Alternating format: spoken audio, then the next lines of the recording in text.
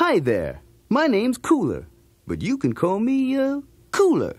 What do they call you? I'm a pound puppy, and I'm so happy to be a part of your family. You see, for a long time, home was the nearest pound. And you know, it gets awfully lonely there. And I'm glad that I've got you to take care of me now.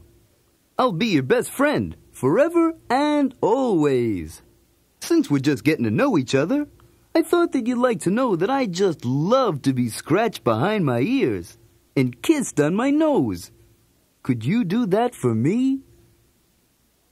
Gee. You know something? I'm a pretty intelligent mutt. For one thing, I can talk. Bet you don't know many dogs who can do that. I'm completely housebroken. I always wipe my feet before coming into the house, and I don't have fleas. Do you? I know lots of stories. Would you like to hear one? Okay, okay, all you knucklehounds. Gather round and old Cooler here will tell you a tale. A dog's tale about the time it was almost curtains for me. It was a beautiful day, and all us pound puppies were minding our own business.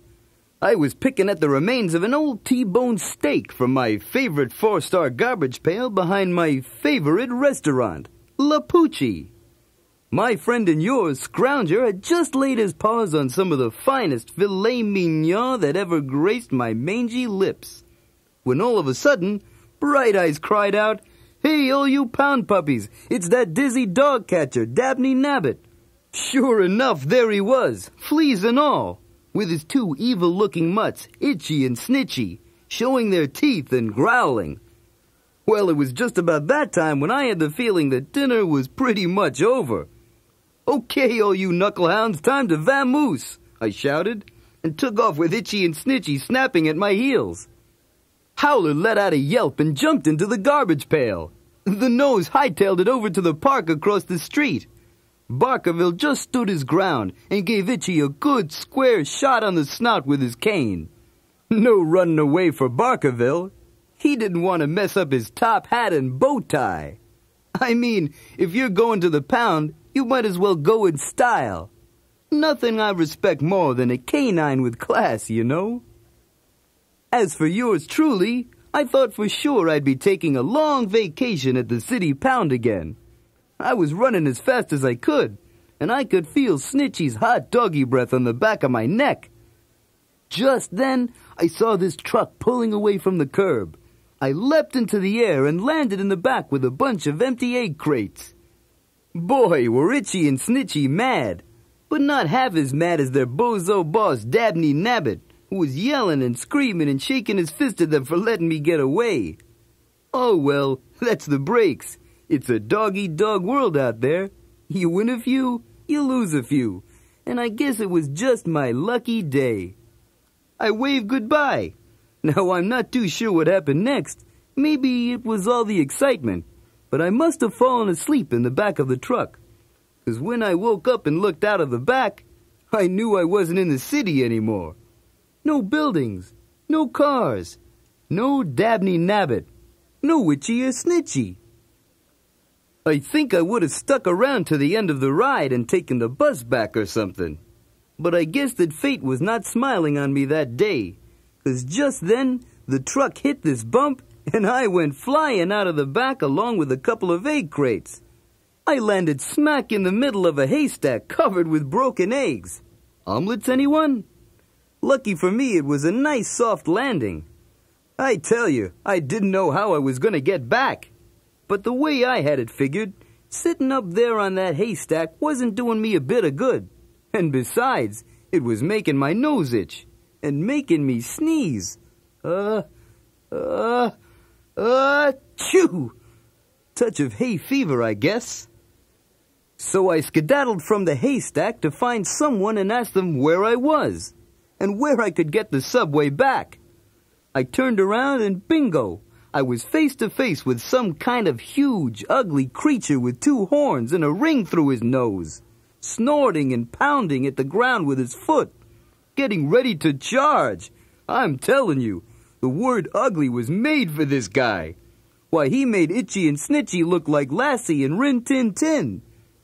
So I politely said, Hey, I'd love to stay and chat, but I'm late for an appointment and I gotta be on my way. With that, I turned around and started running as fast as I could towards the gate with this thing snorting and chasing me from behind.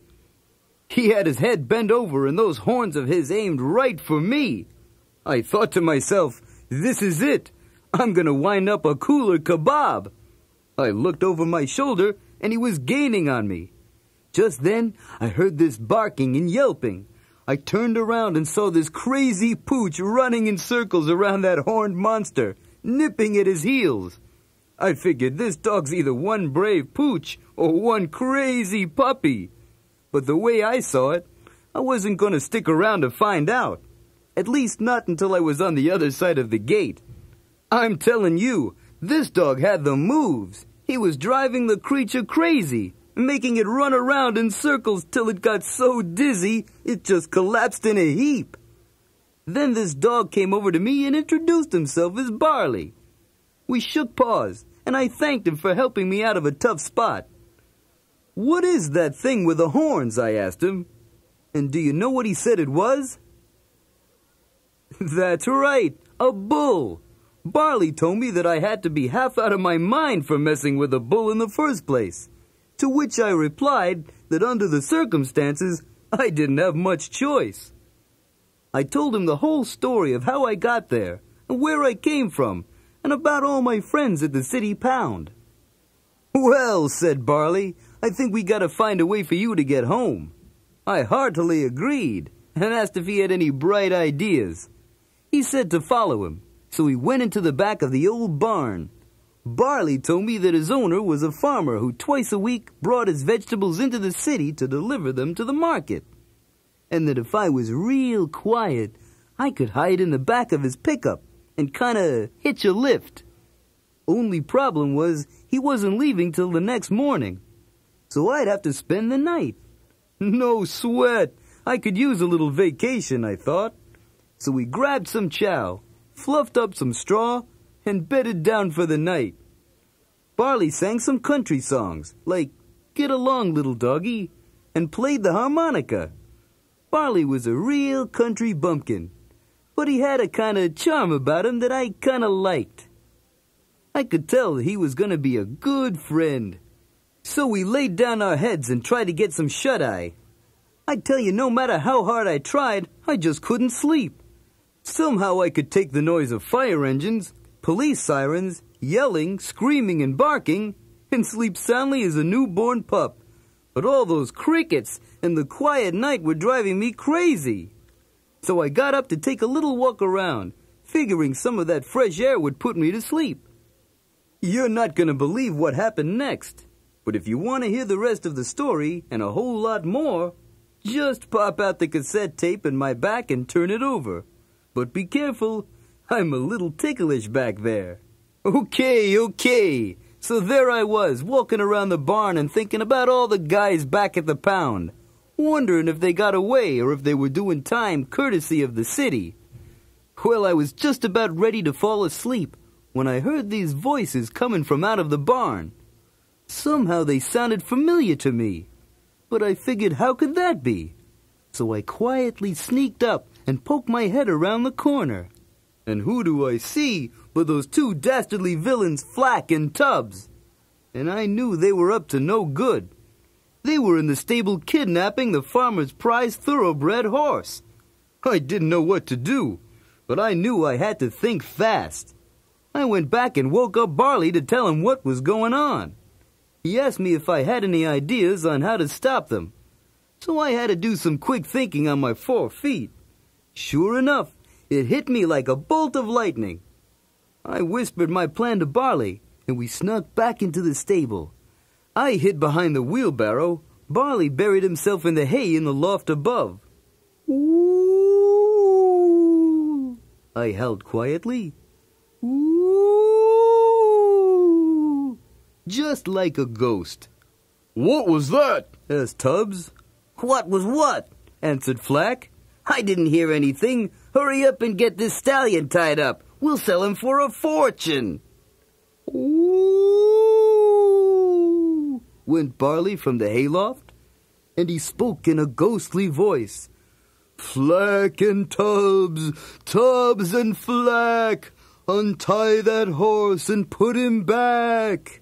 Well, those two banana brains turned white and started shaking like a leaf. They were so scared. Let's get out of here, screamed Tubbs. This place is haunted. For once I'm with you, Tubbs. Let's move it. The two of them ran out of the barn so fast that they didn't look where they were going, and they ran right smack into the bull ring. Now, while that old bull is not my favorite friend, I have to admit I liked him a lot better after he booted Tubbs and Flack clear out of the ring and into the sky. It was a perfect hit. Guess they call it a bullseye. For all I know, they're still up there somewhere with Halley's Comet. Well, when they had gone, Barley laughed so hard he fell right out of the hayloft. After that, I slept like a baby. The next morning, I said goodbye to Barley and told him if he was ever in my neighborhood to drop by sometime. We shook paws again, and I hid in the back of the truck. A couple of hours later, I was back home. Those car horns were music to my ears. I jumped out of the back of the truck and headed straight for the city pound. I knocked on the gate and yelled for them to let me in. Sidney Bigelow, the pound supervisor, thought that old Cooler had finally flipped his wig and gone crazy. After all, a dog trying to get into the pound? What can I say? I miss my friends, Scrounger, Barkerville, Bright Eyes, Howler, and the Nose. In a weird kind of way, I even miss Dabney Nabbit and Itchy and Snitchy. I don't know what you're up to, Cooler, said Bigelow. But we've got you now, and you're not going to escape this time. What could I say? It was great to be home. And so ends another chapter in the life of Cooler. Did you like that story? You know, telling stories is not the only thing I know how to do. I can sing too, and I even do impressions of your favorite rock stars. My favorite songs are Ain't Nothing But a Pound Dog by Elvis Poodle and Born to Scratch by Bruce Springsteen. Here's one you might know. It's an old Beagle tune. I'm a pound puppy, and I'm lonely as can be. I'm a pound puppy, and I'm looking for a family. I'll sing your favorite songs for you, roll over and give you my paw. And when you're sad and feeling blue, I'll sing to you some more. Oh, I'm a pound puppy, and I'm gonna say it again. I'm a pound puppy, and I wanna be your best friend. Oh, I wanna be your best friend. Pretty good, huh? I'm a regular Joe Cocker Spaniel. Do you have any favorite songs? Here's another one. You might know this one, even though I've changed the words a little bit. This pound puppy went to market. This pound puppy stayed home. This pound puppy had roast beef. This pound puppy had none. And this pound puppy went all the way home. Here's another one of my favorites. Old Mother Hubbard went to her cupboard to fetch a pound a bone. But when she got there, the cupboard was bare, and so her pound pup had none. Arr, arr.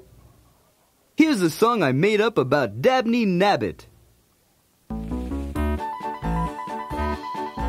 Dabney Nabbit has grown so fat he won't get up to feed the cat. So what can you all make of that lazy Dabney Nabbit?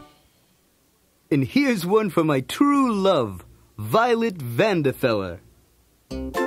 Violet could eat no fat, and I could eat no lean. And so between us both, you see, we lick the platter clean. Of course, everyone can join in on this one. Oh, have you seen the dog catcher, the dog catcher, the dog catcher? Have you seen the dog catcher who's after all of us? Oh! Okay, now everybody together. Oh, have you seen the dog catcher, the dog catcher, the dog catcher? Have you seen the dog catcher who's after all of us? Oh! Well, this has been just great. And I know that I'm going to like it here. Because you're the best owner that any pound puppy could ever hope for. And I got a secret to tell you. But you've got to come closer. Even closer. I love you.